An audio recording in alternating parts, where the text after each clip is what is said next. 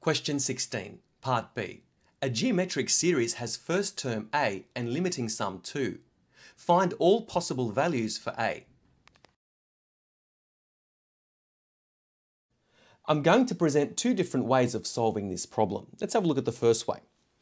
Starting with the limiting sum formula, that is, the limiting sum is equal to a over 1 minus r, where a is the first term of the geometric series and r is the common ratio. We're given that the limiting sum is equal to 2. So 2 is equal to a over 1 minus r. And because it's a limiting sum, the value of the common ratio r must be a value between negative 1 and positive 1, not including the endpoints. Another way we could write that is the absolute value of r must be less than 1. So what I'm going to do is to rearrange this equation and isolate the a. In other words, make a the subject. So I'm going to multiply the 2 by 1 minus r. We get 2 minus 2r is equal to a, making a the subject on the left-hand side of the equation. We get a is equal to 2 minus 2r.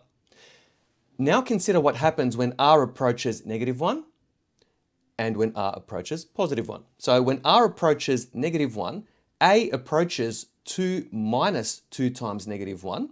Now 2 minus 2 times negative 1 is 2 minus minus 2, which equals 4. So as r approaches negative 1, a approaches 4. Now as r approaches positive 1, a approaches 2 minus 2 times 1. Now 2 minus 2 times 1 is equal to 0, which means a approaches 0.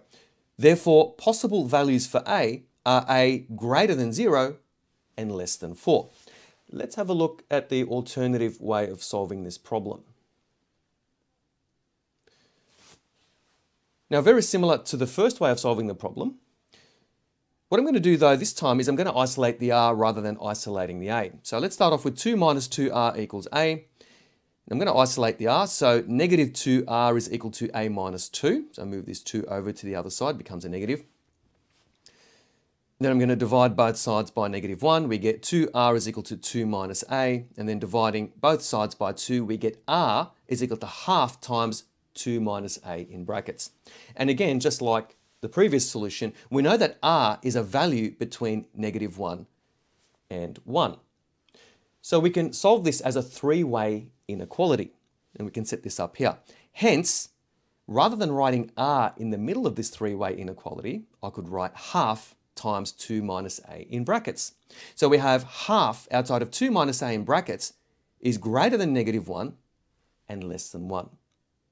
Now we can isolate the a. So multiplying all terms by 2, we get 2 minus a greater than negative 2 and less than 2. Then we can subtract 2 from both sides and we get negative 4 here, negative a here and 0 here. So negative a is greater than negative 4 and less than 0. And then multiplying all terms by negative 1. Now we have to flip the inequality signs. We get a is less than 4 and greater than 0, but to write it correctly, we write it this way. a is greater than 0 and less than 4.